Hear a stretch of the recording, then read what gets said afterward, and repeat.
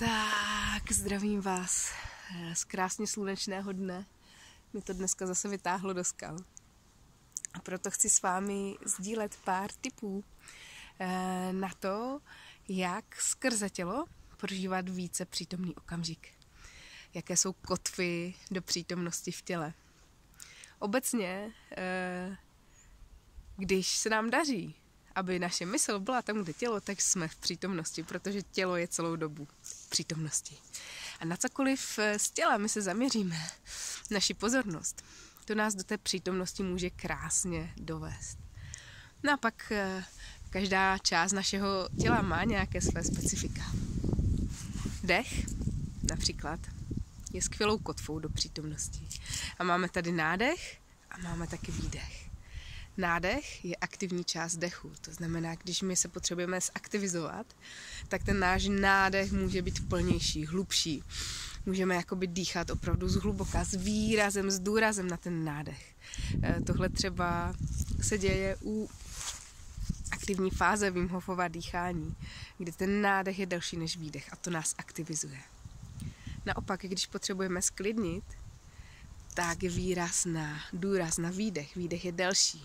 Můžeme si to počítat, eh, že počítáme nádech, dejme tomu do čtyř a výdech do šesti. Když prodlužíme výdech, dostáváme se víc do té relaxace, víc do té pasivity. pasivity. Nádech je vlastně taková ta mužská eh, energie, výdech je ta ženská. Takže tak krásně my si s dechem můžeme hrát a můžeme ho i využít pro to, jestli potřebujeme zrovna zrelaxovat nebo jestli se potřebujeme nakopnout.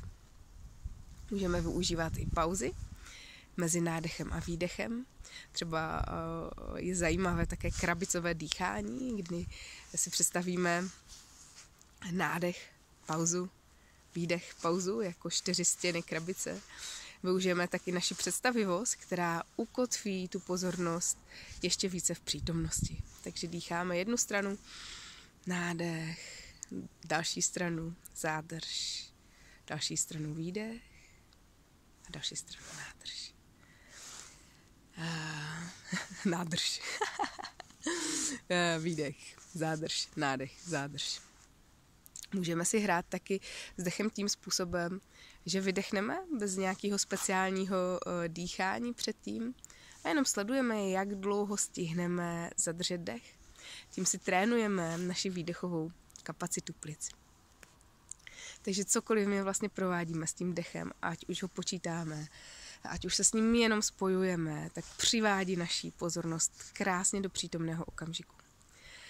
Ráda taky v momentě, kdy se zaměřím na dech, Eh, tak ji vnímám jako takového starého přítele, se kterým jsem se už dlouho neviděla.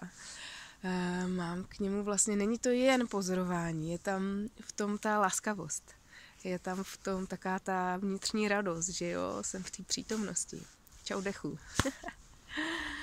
Takže dech je nádhernou kotvu do přítomnosti. V dalších videích vám prozradím, jaký další kotvičky máme.